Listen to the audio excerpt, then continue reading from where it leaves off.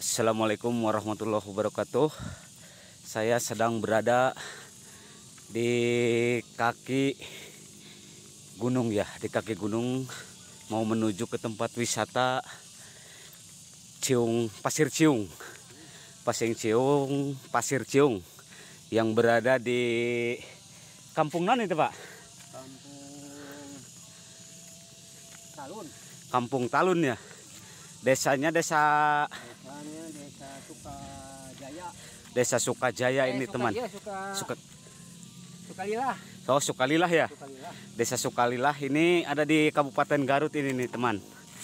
Saya sedang berada di bawah mau menuju ke atas karena tempat posisi di atas katanya menurut orang-orang ada tempat peristirahatan yang begitu tenang dan pemandangan yang begitu indah dan juga di atas sana eh, ada eh, sirkuit ya. Sirkuit tempat gas track atau motor cross. Dan untuk perjalanannya yang saya tempuh ini lumayan agak jauh ya. Dan ini jalannya sudah dicor. Uh begitu tinggi dan menuju ke atas itu mungkin membutuhkan waktu sekitar setengah jam. Dari bawah sana. Uh dan dari sini juga sudah kelihatan ke bawah sana ada pemandangan kota Garut yang mulai kelihatan yang dikelilingi oleh gunung-gunung dan juga pepohonan. Ada juga pohon bambu itu tuh wah pokoknya ini suasananya adem dan juga tenang. Dan sekarang saya langsung mau terus eh, berjalan menuju ke atasnya. Dikarenakan ke sana harus muter. Jadi eh, saya sama mertua saya itu ya itu mertua saya tuh. Eh, sebagai penunjuk jalan untuk terus mengikuti perjalanan menuju ke, ke bukit ke atas sana oke terus simak bagaimana keadaannya di sana dan untuk teman-teman yang ingin lihat bagaimana lokalis lokasi tempat wisata Pasir Ciung yang berada di kota Garut ini. Oke, kita terus beranjak. Uh, pendakiannya lumayan ini. Dan ini kebun-kebun nih. Ini kaki gunungnya ya. Yang ditanami ada kayaknya ini pohon apa ini nih. Kita terus berjalan ya karena kalau lewat jalan ke sono muter jadi kita menerobos lewat pasir ini nih. Oh udah mertua saya terus berjalan. Wah pendakian yang begitu ekstrim ya.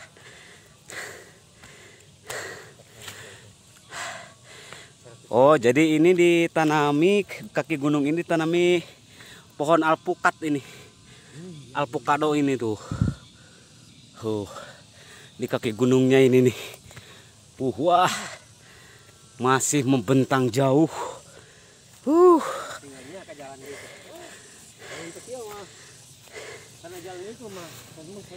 muternya jauh. Wah, bener ya. Uh.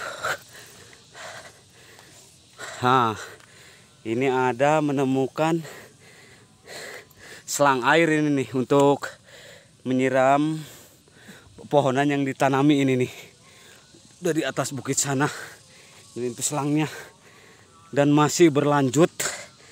Perjalanannya yang begitu ah nenggak weh pokoknya mah. Pokoknya terus eh, simak videonya karena saya akan terus berjalan ke atas bukit dan untuk teman-teman yang pingin tahu gimana di atas bukit sana jangan di skip skip videonya ya karena ini lumayan terjal nah di sini juga selain pohon aduh saya capek ini teman. Selain pohon alpukat di sini juga ditanami pohon jeruk ini nih di atas bukit ini nih tuh wah ini lumayan berlubang. Ini kena air ini. Karena tadinya berpetak-petak ini di loader atau dipakai mesin alat berat ya bulldozer. Jadi sudah kelihatan rata ya meskipun ini tebing. Wah kalau untuk camping ini enak nih. Wah sudah kelihatan teman. Itu ada tiang listrik penerangan. Dan sudah kelihatan pula teman itu ada saung tuh di atas bukit. Tempat persinggahan ya teman. Wah begitu lelah. Dan dari sini sebelum menuju puncak ke atas udah kelihatan pula uh, kota Garut dari sini. Pemandangannya uh amazing teman benar-benar surprise. Pelepas lelah aduh. Saya begitu lelah ini teman. Ah, jadi bikin haheho aduh dada saya berdetak dengan kencang. Dan lihat pemandangannya wah mantap teman. Pokoknya perjalanan dari bawah nyampaikan atas meskipun belum ke puncaknya tapi udah terbayar dengan pemandangan yang begitu indah.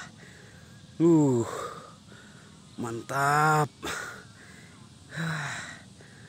Uh, begitu deg-degan. Oke, mantap ke teman. Wah, gunung begitu menjulang tinggi dari sini hampir kelihatan rata ya dengan yang saya daki ini. Oke, kita lanjut terus teman. Kita berjalan ke atas bukit lagi. Yuk. Itu mertua saya sudah kelihatan tuh. Sudah berada di atas sana. Oh, itu saungnya. Itu ada saung atau tempat peristirahatan, tempat duduk dikala kita dari bawah menuju ke atas. Wah, di sini juga ada pepohonan ini. Pohonannya ini sayuran, teman. Sayuran kol. Uh, ini buah kolnya nih. Tuh, kayak gini nih bagi yang belum tahu. Jadi buah kol ini kayak gini. Uh, begitu luas dari atas menuju bawah. Uh, hamparan kebun kul kol. Wah, mantap deh. Oke. Oke, teman. Sudah kelihatan ya, kita lanjut ke atas gimana situasi di atas ya? Kita lihat-lihat bagaimana keadaannya. Yuk simak terus videonya. Jangan di skip skip oke? okay?